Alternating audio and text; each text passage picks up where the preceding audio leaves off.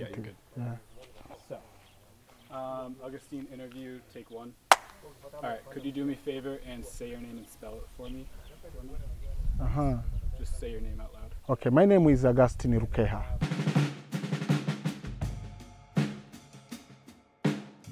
Before the support from EWB, Chamhawi had completely no access to clean and safe water supply. So communities living in Chamhawi sub-village were accessing water for domestic use from unprotected water sources. Engineers Without Borders, our chapter here in Boston, is comprised of engineers at varying stages in their careers. They have come together to try to utilize their technical knowledge, volunteering their time to help um, communities that are wanting to have assistance with some of their problems requiring uh, technical knowledge. Our chapter in particular has been focusing in uh, Tanzania for about 10 years.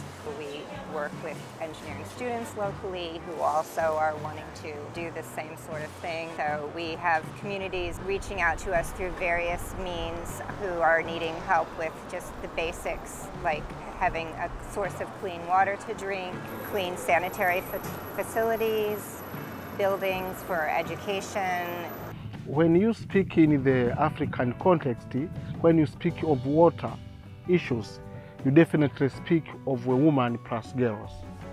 So in a few years ago, it would be, we could see girls going with their, their mothers to look for water. And it could take even more than three hours looking for water to bring at home. And that makes girls reach at home tired. And when they become tired, it becomes difficult for them to attend the school. But those who, who manage to go to school, it becomes difficult to listen to teachers very carefully and get the teachings. My name is Mike Stover. and My role is the lead project engineer. My concentration is the water supply aspect. So we started our relationship with Chamhawi in 2019. Uh, the first phase of the project was to drill a borehole, a well, um, for the community to draw water from. And that uh, was something that we designed and we um, constructed that in October 2020. Uh, at that time, we also trained the village on managing the water system. So we helped them develop a community-based water supply organization, or CBWSO. So that gave the community members clean, pure water to drink uh, instead of going to the river where they had been collecting water in the past. And the, and the river water was full of contamination like bacteria that uh, typically made people sick. Already there are some quick effects which have come shortly after the drilling of the Chamhawi borehole. Among those is the workload for women moving far away searching for water has been reduced. Some of the stuff that I've worked on is uh, coordinating the household surveys for Mkutani. We did the survey again in 2019 to see what kind of progress we've made in the community and what kind of impact we've made in the community, which was pretty good.